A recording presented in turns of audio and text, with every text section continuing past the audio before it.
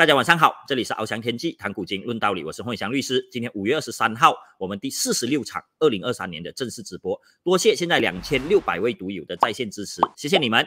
啊，我们现在进入第一个讲题，在那之前要呼吁读友们大力的点赞这个直播，分享出去，更多人看到跟 subscribe 我们的 YouTube 频道。哦，你的点赞就是对我最大的鼓励。如果你不知道点赞在哪里，不知道分享在哪里，可能是给你的 live chat 挡住了，聊天挡住了，你关掉聊天，你就可以去点赞，你可以分享，可以 subscribe，那你再回来聊天是不会影响的哈。而且大家都在发嗨，你不用担心你看漏了什么信息。那现在就进入我们今天第一个讲题啊。哦，第一个讲题当然就是这两天最 hot 的这个扣押。某品牌非常著名品牌 Swatch 啊的啊彩虹手表。那首先我先要纠正一个错误了，很多媒体都搞错。大家有看到这些报错的新闻，可以发一个五哦，五就是 give me five 啦，所以五是同意我的意思哦。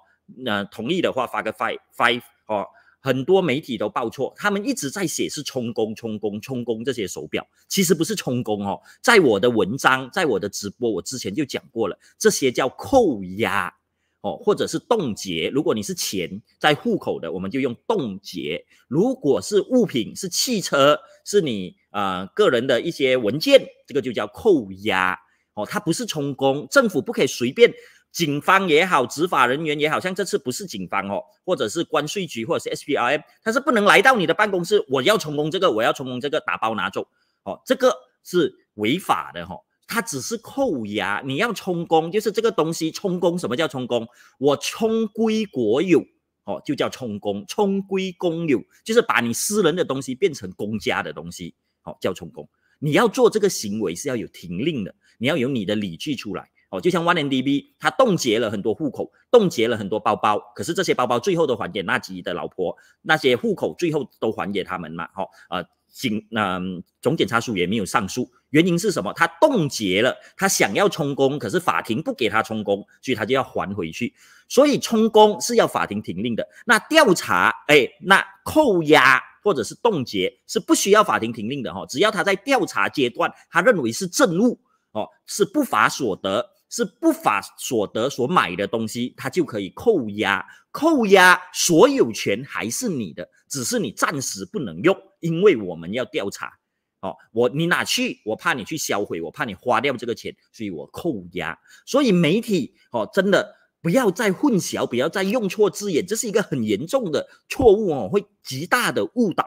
呃，民众，所以不要再用充公了。我刚刚看新闻哦，三个讲充公，两个还是一个，我忘记了哈。呃，讲扣押哦，扣押是对的，充公是错的，不要说充公哦。所以啊。啊，这个是我第一个要讲的哈。第二个不是警察去扣押这些手表哈，也不是在一个地方哦，是全国一起大扫荡哦，在一两个礼拜之前一起全国大扫荡，然后扣押了这些全部彩虹系列的手表，然后这个竟然不是内政部，也不是贸呃，竟然不是警察哦，不是警察去执法，有人报案说哦，这个是偷的东西，或者是这个是不应该出现的东西，我去啊啊。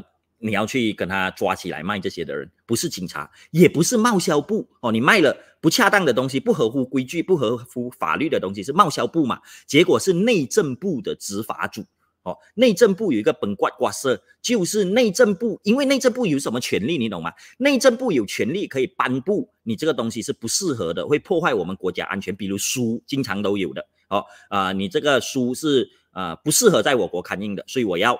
啊，扣押你的书，我不给你卖，好，我要呃跟你的书收回来，好，不给公公开接收到，好，所以这些执法组就是内政部出了这些谕令，然后他们去做，哦，因为你本来没有犯法，你会错误会犯法是内政部做的决定，哦，所以内政部有本身自己的执法组，所以从这里你就可以看到这是一件什么事情，是内政部本身认为这是错的，虽然他没有违反任何的法律。哦，没有违反任何的法律，但内政部觉得你是错的，所以他就叫自己的执法部队去扣押你的东西来进行调查。好，他扣押了之后，他要进行线报哦，呃，错在哪里？你不可以这样随便扣押的哈，这是完全错误。到现在我们还没有看到哦，还没有看到你你违反哪一条法律？哦，你是不是要线报它作为呃违禁物品？哦，这些彩虹色的手表是违禁物品，这就是一个很荒唐的事情。所以这个事情在还没有现报出来，或者是现报了，我们还不知道，它就已经呃破开了天了。哦，这是第一点我要给大家所知道的。那第三点，我们就讲这个事情会会发生啊。首先，我直接说结论，很明显，这个事情就是政府想要走中间，两边都讨好，最终是两边都不讨好。这是我一直都在抨击不应该发生的事情。拜托你一定要选好你要走什么路，你要走保守，你就敢敢走保守，你不要走中间。你走保守好过你走中间，你走中间是死路一条，因为两边都会觉得被你出卖，你两边的票都拿不到。我们当然希望他坚持开明，因为你一开始是开明的，也是因为开明我支持你的。你不要做了政府，你就跟我说你要变保守或者是走中间，这是错误的。好，所以我们希望它变开明，但是政府很明显一直想要左右逢源，要顺德哥来，又不失少意，所以他想走中间。但我跟你说，这绝对是死路一条，最终肯定会变成两边都得罪，得不偿失。哦，为什么会我说这是这样子的情况？哦，我现在就分享给大家了。好，那现在这个。课题很明显是很荒谬的事情，你想一下，是不是跟纳吉时代？不是在如火如荼，全国都在展开的时候，你穿黄衣变成有罪，在霹雳州有人穿黄衣被抓，在不是他家呀有人穿黄衣被抓，还记得吗？好，你抓黄衣的人理由是一样荒谬的，你说穿黄衣是倒政府，所以黄色都是倒政府，黄色的官方颜色是黄色。那你说皇室是倒政府吗？所以就是这样子不合逻辑。同样的，为什么现在他充公这个彩虹色的手表？因为性少数就是 LGBT 啊，同性恋、多性恋、双性恋，我们统称 LGBT 了哦。性少数啊啊啊，称呼性少数是比较中性的一个词语了啊嗯，这些性少数他们的标志就是彩虹旗。为什么是彩虹旗？因为彩虹有七种颜色，表示着我们可以包容你各种各样的理念。好，所以是一个开明的象征。所以这个手表被说跟呃，因为有一些 LGBT 的明星哦，在啊也有推广这一只手表哦，所以然后它又是彩虹色的，那他们就跟这个 LGBT 性少数挂上了钩，然后就说哦，你这个是不宜买卖的，所以我现在来啊扣押，然后想要充公或者是要禁卖你这样子的产品，这不是很荒唐、很荒谬的事情吗？难道彩虹哦，彩虹是？不应当的吧？你如果认同这样子的理据，有些人可能不支持性少数，很讨厌性少数，或者是鄙视性少数，有这样子的人哦。如果有时间，我会谈一下我的看法。也有读友问我我的呃。我关于这些性少数的看法，因为他的儿子哦，他也发现他儿子是性少数，然后有来问我的意见，我有给他一些看法哦。我当然不会说是谁，然后我会 general 的跟大家谈。但是我们讲完这个课题，如果有时间，我再来跟大家分享我对性少数的看法。但是你不管你怎么样讨厌他们，你怎样鄙视他们，这是他的选择自由啊。就像哦，开演唱会，现在 Coldplay 要来马来西亚开演唱会。回教党反对他来开，你知道原因是什么吗？就是因为他其中一位乐手哦，还是主唱，我我我不是他的粉丝，我不知道了。其中一位乐手还是主唱，他也是性少数啊，所以回教党就挂钩，因为你是性少数，所以你来开演唱会就是宣扬性少数，同样的荒谬。所以你不要双重标准，演唱会你就跟我说你很白痴哦，演唱会关于什么宣扬性少数，我也讨厌性少数哦，所以演唱会。不光是演唱会可以开，那手表你现在我看到很多洗地的人说，我讨厌性少数，所以这个手表不应该推广。你想一下，就是回教党的思维，所以不要把自己变成你所讨厌的那个人。好，你不要换了位置，换了脑袋，不要双重标准，这一点是很重要的。好，希望大家可以明白。当然，有人会说，尤其是洗地的人，盲目支持者，他们怕政府丢失政权哦，因为洗地洗得太出脸了。他们怕丢失政权，所以他们会无底线。只要政府这个政府可以继续做政府，他做什么都是对的。这个就是洗地人的无耻之处啊！他们会找很多理由。我相信大家现在都看到很多理由，就是哎呀，政府是开明的，他们没有像洪律师讲要走中间，甚至要去竞争保守，没有哦，他们是开明的。这些是支持国盟的小拿破仑，那些官员自作主张自己做的决定。不关内政部长塞夫丁的事情，不关联合政府，是这些官员自把自为，因为他们支持西蒙，他们跟着西蒙的理念，哎，他们支持国盟，他们跟着国盟的理念，他们是保守派，所以不关政府的事情，是不是看到很多这样子的？然后他会跟你讲，他会拿，那你看政府现在暂停执法了，现在消息传出来，政府暂停执法了，证明政府是开明的，哦。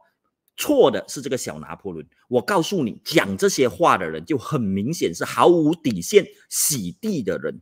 哦，毫无底线洗地。哦，就是我刚才说，你根本就是拿一个废的理由来讲。首先，你想，如果这个事情是纳吉做的，哦，像我刚才讲的不涉黄衣，为什么当时你不讲？不关纳吉的事，纳吉哪里会怕黄色？是这些警察交往过正，这些警察在看他们的呃老板的脸色做事。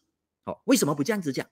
好，如果现在是国盟政府做这样子的事情，你会说是呃小拿破仑做的吗？不会，所以不要双重标准，这是第一点。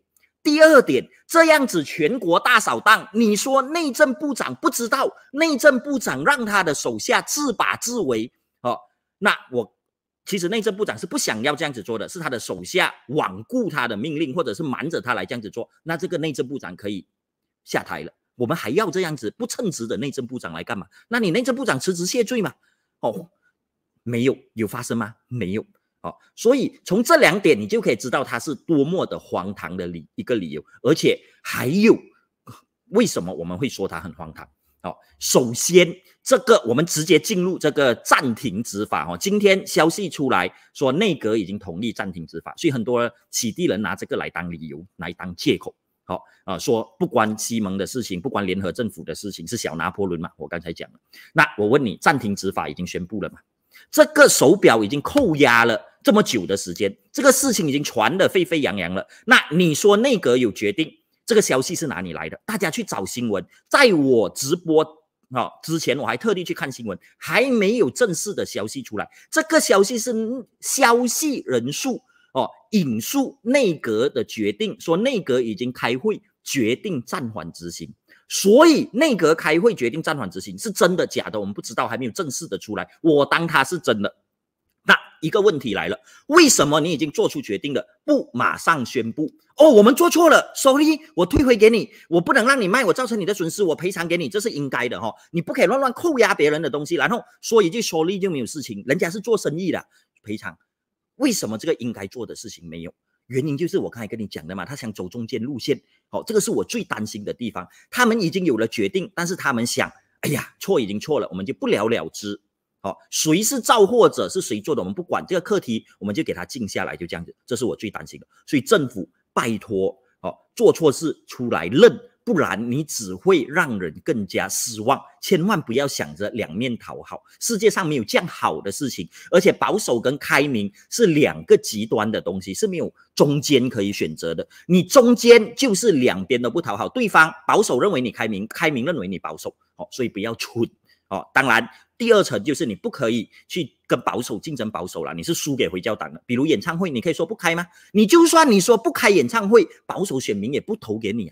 因为回教党比你站在更前面。当你说不开演唱会，他就跟你说所有演唱会都不可以，哦，电影也不可以。你可以跟到他这么近吗？所以你跟他比保守是死路一条的。这一个逻辑我已经讲过很多次了，哦，所以第一层你可以看到他在走中间路线。这个所谓的暂停执法只是一个消息，哦，而且消息是由谁传出来的不知道。好，然后如果你说他做了决定，为什么要 on hold 不马上宣布？说会暂停执法，其实今天中午就消息出来了哈，但是为什么不直接公布？好，全国都在关注这个课题，已经越演越烈，越炒越热了。为什么你还保持这么完全不合逻辑嘛？所以大家思考一下就可以知道。好，那第二点，你说是执法错误，好，那。你现在要怎么样？你扣押的手表要不要退还？要退还吗？所以，嗯，现在他要不要退还？像我们刚才说，其实很多报道都说暂停执法，但是也有一个消息说会退还。我看了这么多新闻，只看到一个已经决定退还这些手表了。所以，你暂停执法本身是没有意义的。你用暂停执法来当做是政府开明的例子，那你其实是在打脸你自己。为什么？因为他已经执法完了啊，他全国扫完了，手表都收去了，你不能卖了。我现在暂停，不就是等于我强奸了你，然后你不追究，你以后不要再来强奸我就可以，我不追究啊，这样子的情况不是很好小、很白痴吗？所以为什么不马上归还？为什么不退还？哦，当然，现在有消息说要退还，我希望他们退还，而且不只要退还，要赔偿，证明你是错误的，不可以随便这样冻结我们的资产哦。比如他来突然来我的家，怀疑我的车是贼车，我们比如说吧，哦，我的车真的是贼车，你有证据，或者是你怀疑，那你拿去可以。可是你拿去我的车六个月，我不能用我的车，我买了一辆新车，这六个月的损失，你后来发现原来是你搞错，你要抓我隔壁，或者是抓我对面的。啊，我对面是干大哥啦，不要讲对面，我隔壁现在没有人住了啊，我们就用隔壁了哦。干大哥不要生气哦，喏，啊，你要抓我隔壁的，然后你看错门牌来抓到我这边，这样你是不是要赔偿我？哦，这个就是正义哦，要体现正义。可是现在要怎么样解决都不知道哦。我的某学长某某 YB 火箭的某 YB，刚刚傍晚的时候我们还有聊天，他说他出一个文告，这个文告大家都已经看到了，他其实呃。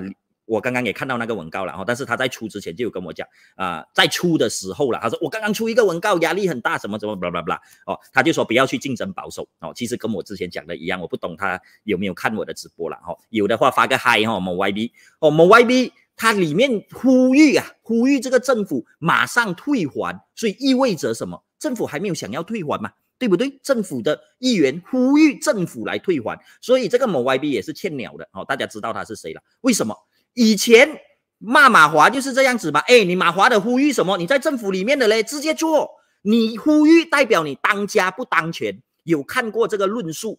行动党骂马华的读友发个五。那现在你也在呼吁，你是不是告诉我们你行动党当家不当权？一样的逻辑嘛。好，所以用这个理由，你看是多么的废哦，多么的废。然后第三，如果是小拿破仑。那你要不要惩罚这个小拿破仑？你说我是部长，哦，我不想这样子做。这个小拿破仑，比如部门总监，哦，部门总监是很大的人物，部门总监自把自为，那你是不是要 s 掉这个部门总监？你要他辞职谢罪，影响这么大，而且假传圣旨，哦，但现在有这样子的迹象吗？